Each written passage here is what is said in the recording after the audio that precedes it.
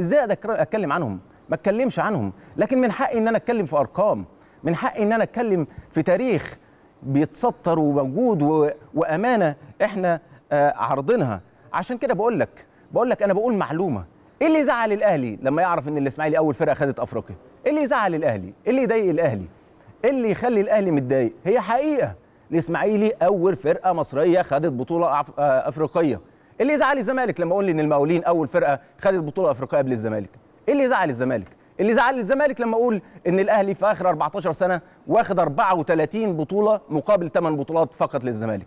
اللي يزعل الزمالك لما أقول إن الأهلي واخد في في ال 14 سنة اللي فاتوا 11 بطولة إفريقية مقابل ولا بطولة للزمالك. اللي يزعل في ده. دي أرقام بتتكلم عن نفسها. دي أرقام بتتكلم بتتحدث عن نفسها. أنا بقول إن أنا بحافظ على تاريخي. يا أخي أنا مبسوط جدا ان أنا بتكلم في اللي فات. مبسوط جدا. انت مضايقك في إيه؟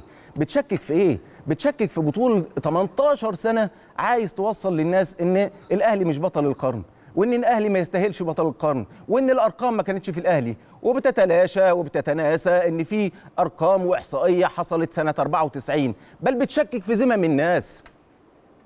بتشكك في زمن الناس. زمن من الاتحاد الأفريقي وناس رحلت وماتت. بتشكك فيهم. بتشكك حتى في الناس اللي ماتت.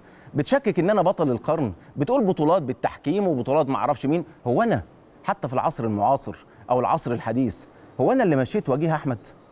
هو إحنا اللي مشينا رضا البلتاجي؟ هو إحنا اللي خلينا أحمد الشناوي يوصل للحالة اللي هو فيها في الوقت الحالي؟ يتكلم على ضربة الجزاء إنها مش ضربة جزاء ويتلاشى بعض الحالات ما يجيبهاش أساسا. أنا اللي وصلت لأحمد الشناوي أو كابتن أحمد الشناوي المحاضر الدولي الكبير إنه يوصل للدرجة ديت من أمور التحليلية. والتلاشى عن مواقف كتير وخصوصا للنادي الأهلي. أنا اللي وصلت كابتن واحد بقيمة ومكانه ومكانة وعظمة التحكيميه لجمال الغندور إن هو ما يكملش في لجنة التحكيم. أنا اللي خرجته من المنظومة وواحد من أساطرة التحكيم في أفريقيا مش في مصر بس انه هو يخرج بالشكل ده. الأهلي هو اللي خرجه. أنا اللي بقول على عصام عبد الفتاح وبعمل حاجات كتيرة جدا على عصام عبد الفتاح. ولو عصام عصام عبد الفتاح مش موجود في اتحاد الكورة عمره ما كان هيبقى رئيس لجنة الحكام لمدة أكتر من أسبوعين أو ثلاثة. إحنا اللي بنعمل كده. إحنا اللي عملنا التعصب اللي أنت بتشير إليه وإحنا اللي قلنا إحنا إحنا اللي بنقول من 10 12 سنة لما الأهلي بيواجه منافس إفريقي ولا منافس على المستوى الافريقي أفريقيا النجم الساحلي ولا الترجي التونسي ولا حاجة أنا اللي برفع أعلام الفرقة المنافسة وبحطها على الكافيهات وبحرم وبحرق علم النادي الأهلي. أنا اللي عملت كده.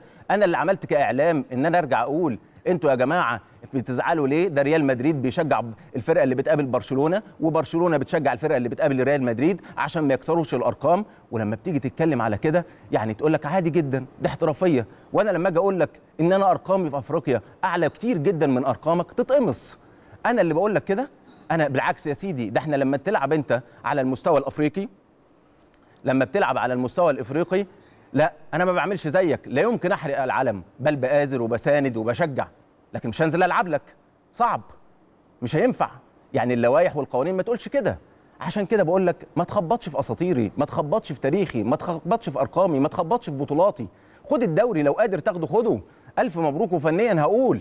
هقول لو في صورة إن أي فرقة مش الزمالك بس ومش الإسماعيلي بس ومش المصري بس أحسن من الأهلي فنيا في داخل آه، على أرض الملعب هنقول كده.